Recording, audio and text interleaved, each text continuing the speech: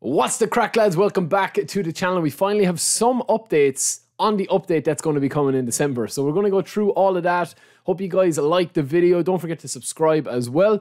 And let's get into it.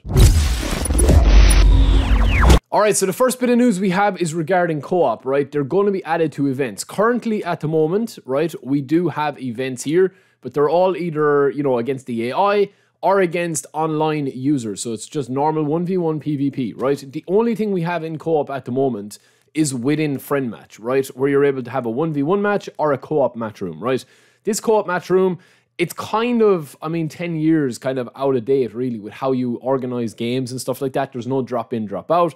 There's no real matchmaking, random matchmaking or anything like that, right? So when we go over here to the actual eFootball website, the official Konami website, they talk about introducing a co-op PvP event. Now, the wording here is very, very interesting or important, I would say, because they say that they're going to be adding co-op to events, and they also say that you can casually participate on your own or team up with friends to play against other teams. Now, what I what I read into that, and I will try and get like 100% confirmation on it. It's just a little bit early yet, um, and usually, you know, it'll be a day or two before I get that. But usually, what this means when they actually say this, that you can casually participate.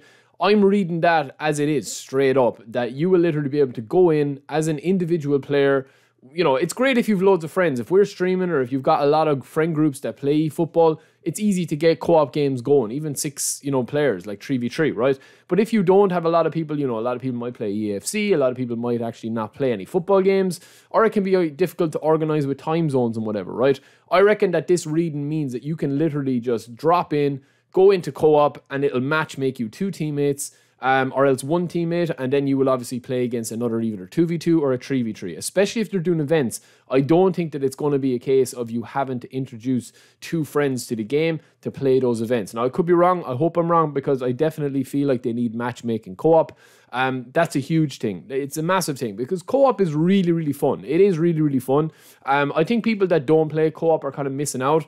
But I would say that there has to be something to play for, and this hopefully rectifies that with V3.2. Uh, now, the next one I want to talk about is renewing contracts with GP, as you see here, right? So, in addition to the existing contract renewal of 60 days and 10 days contract renewal, right, which I'll show you here. So, for anyone that's new to the game or anyone that's been playing the game for a short while, or even for those that don't really understand how the contract system works, okay?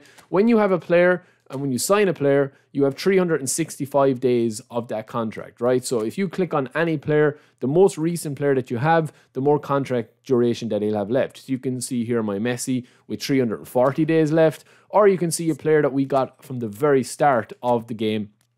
Uh, you know, when we first launched eFootball 2023, any of these guys here, all the way, they're all out of contract. All these guys with X's around them.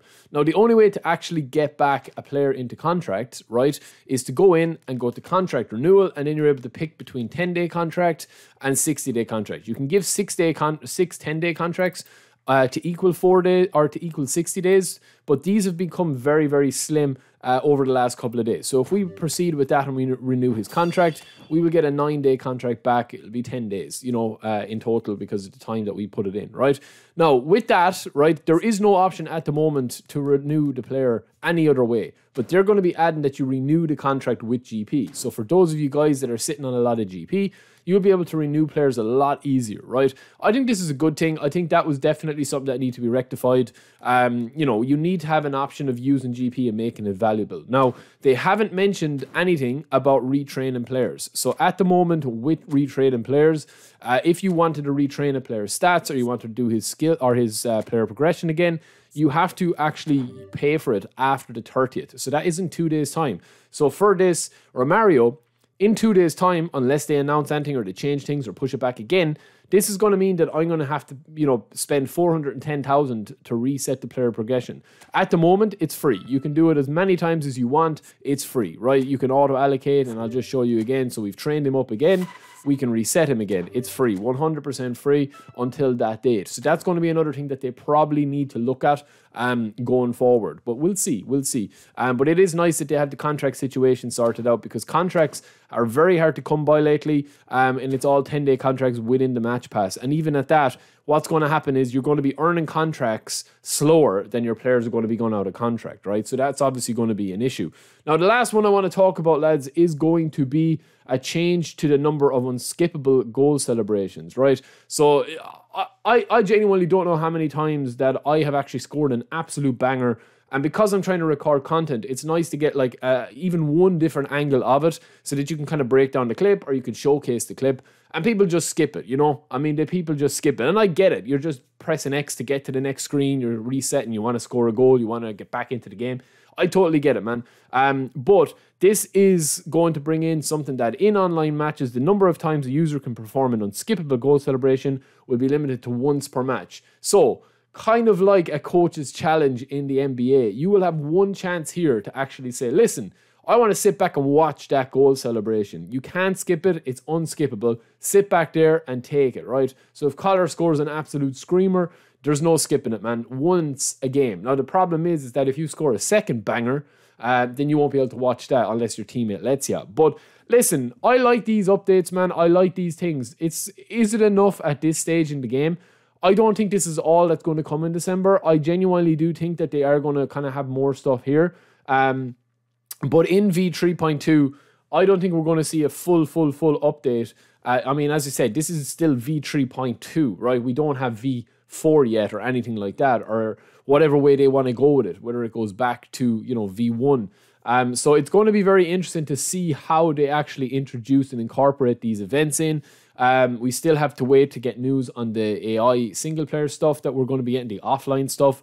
Um, but look, these quality of life changes and these kind of features, especially the contracts, that's a big problem for a lot of people that didn't really understand the contract situation and we're going to be left out in the cold, man. Because if you have 10 contracts and 10 of your players go out, you literally have 10 days for using those players. And if you don't get any more contracts, you're literally not going to be able to play with those players unless you get new contracts. Now, you can release players, and I have a couple of videos on how to get unlimited contracts and stuff like that. But all of that will probably just, you know, um, be superseded now by the fact that you're able to get GP. So that is it for me, lads. I will be back just keeping it short and sweet.